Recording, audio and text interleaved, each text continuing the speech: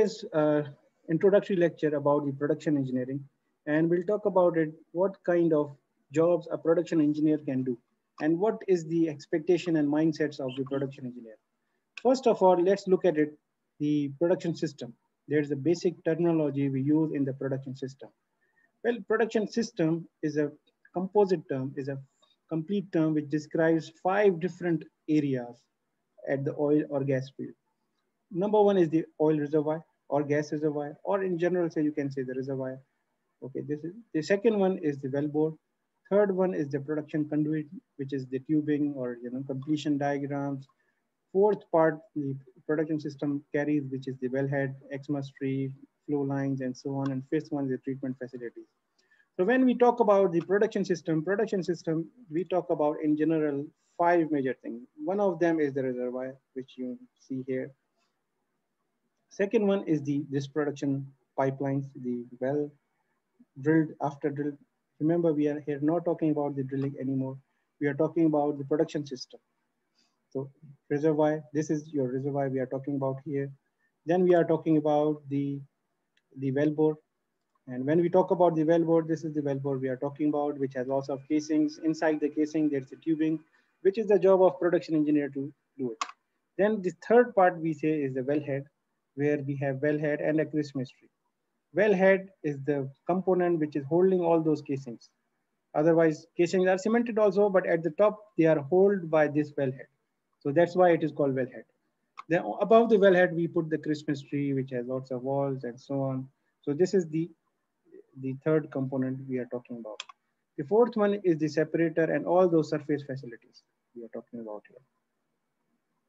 We have separator, separator, separator, gas is separate, water is separate, and oil is separate. All of them are separated here and so on. As a production engineer, we remember we are not dealing with the reservoir. This is not our job. Okay, this job of reservoir management is the job of reservoir engineers. We are not dealing with drilling engineering either. Drilling engineering is the job of drilling engineers. They complete the well, they drill the well, they'll give us, that's it. They, they put the wellhead and they go, that's it. After that, the production engineer jumps in and he manages all the, all the, all these things. Now, okay. For now, understand this is the major production system diagram. If we do the test, midterm, final, you will see this diagram somewhere, somehow as a, in an exam. So I may ask you, draw the production system diagram and describe the production system. The production system contains reservoir, wellbore, tubings, Christmas tree, flow line, and treatment facilities, and so on. Now, what is the job of production engineer? This is most important. Well, production technologies has too many jobs you can find out. If you go to oilcareers.com or other oil and gas engineering job, you can find too many things. Uh, but let's talk about the one by one. What is the job of production engineer? Production monitoring and evaluation. Well, production monitoring and evaluation, let me write uh, in the, the most important slide. Okay, production and evaluation. Now, as you know that we have the, the well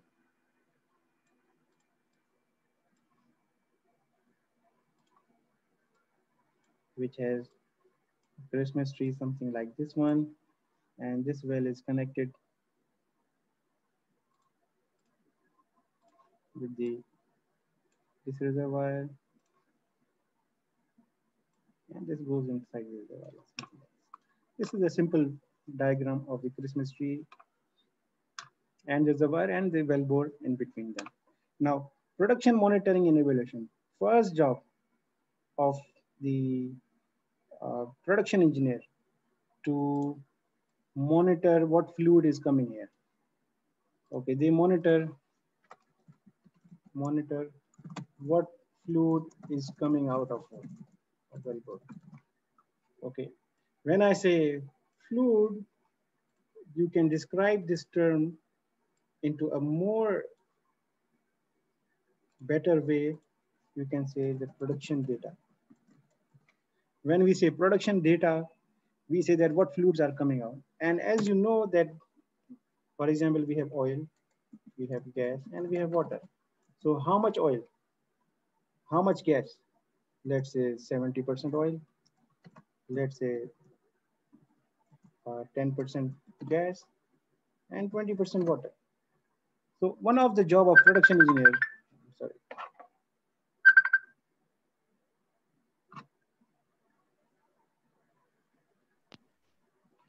One of the job of the production engineer is just to monitor this data. You will be basically uh, give a, given a job at the field, oil and gas field. You will sit in front of the computer. You will be given two technicians. You will have 15 to 20 wells to, to look after what is coming out of well. Okay, how much water? Every 12 hours, they make a report. Every 12 hours, they make a report of production oil, this much oil came out, this much gas came out, this much water came out. Okay, this is the first job. You monitor this production. And then this data, every 12 hours, you send to the head office. This is the least risk, uh, risk one job. I mean, it has no risk at all. This is the most comfortable job. Salaries are low, but very comfortable job. You go, you stay there, monitor the data, record the data, and send to the to the. This is the one job of the production engineer. As the other job starts the evaluation of this data. Okay, this evaluation is done in the head office.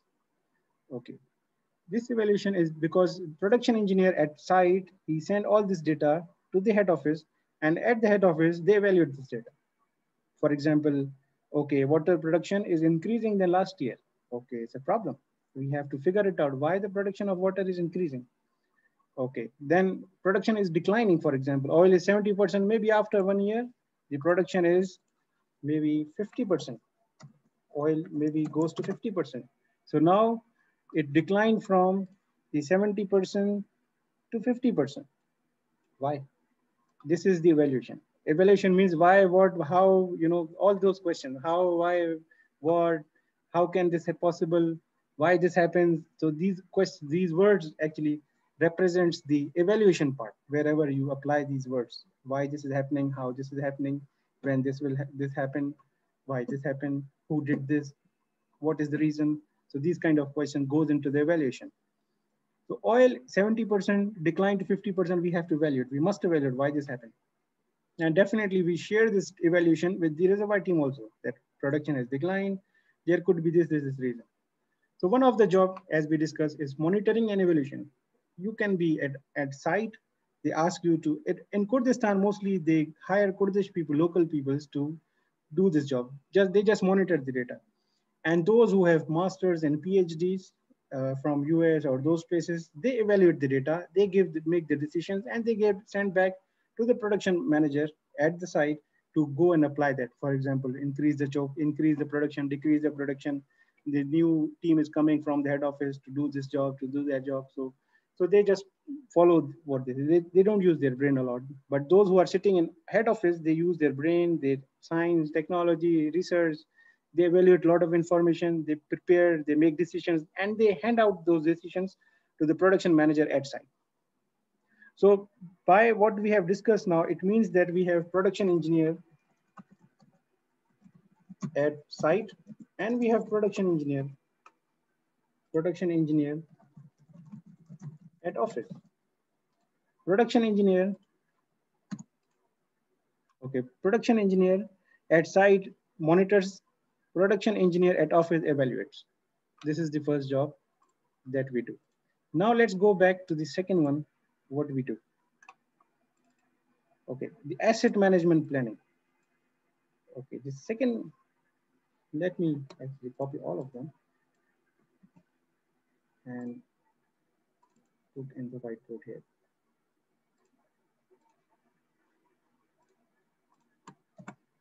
Okay, the second one is asset planning, management planning. Now, for example, in this well, we have one well. Okay. Now, a question can come. Now we have five wells.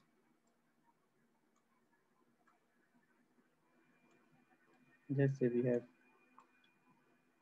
One, two, three, four, five, six. We have six wells now. Okay, now six wells. The question can come here, how much production we can, can get next 20 years. How much you are expecting. This is a production engineer must answer to the company because how much production, production, what we are talking about is oil. Okay, how much oil we can produce in next 20 years. This gives the projection to the company managers to decide to apply for bank loan, to you know buy their luxuries, whatever they want, pay back their loans to the companies, governments, and so on. This is the asset management. Okay, the second part of asset management is how many more wells we are going to drill. How many wells we need for this reservoir? We 100 wells, 200 wells, five wells, 10 wells, 15 wells. How many wells we need? So this, this term comes in the asset management that we have to manage our asset, tell us how much uh, software, how much production we can get. And the software that you can use for this purpose is the GAP, which we have, we have already got this software. We are, we will have it on campus in the next, I'm expecting it soon. So let's see, I'm just waiting for the president's signature on that. But we are almost done with the process for this asset management. Then sometimes let's look now at the third workover design and execution. Workover means, for example, now this well, because of the corrosion, because of the corrosion, this well here, because of the corrosion, this well here, maybe is damaged here. Maybe there's a problem here, it is damaged. Okay, and uh, workover means your well is was already there, but then you have to do use fix it again. For example, you have to work on it again, like you do workover for your sometime your homes. Okay, you you do some reconstruction, do some repainting. So you to remanage your wells again. There are a lot of problems can happen in the well. We will talk about it. What kind of problems, workover jobs can happen and needed for, for a production engineer to manage. This is the third thing. Now, based on this, how much production we get per day, for example. Now, let's talk about at the surface. Now, at the surface, we have one, two, three, four, five, six, seven. Seven wells we have here.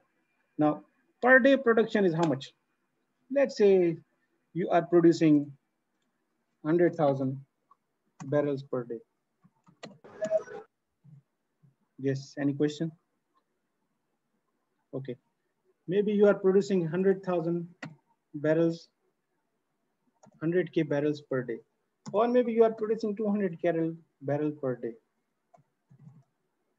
Per day, depends. First, you have to figure out how much oil you are going to produce per day. This is the job of the production engineer and that can be obtained, done, settled down in the software called GAP. We will learn about it in this subject. Okay. Then the second thing is you have to design the facilities there. For example, now you, you have 100K barrel per day you are producing, then what to do with that? If you don't have the, the facilities to store them, then where you will put this oil? Or what, what you will do with that? Because you for that you need a certain surface facilities. You need to design surface facilities, surface facilities that can handle 100K barrels per day of oil. Okay, but the problem is that this 100K is not going to stay there forever. Let's say it was one year. After that, it may decline. Decline, why? Because maybe water production is increasing.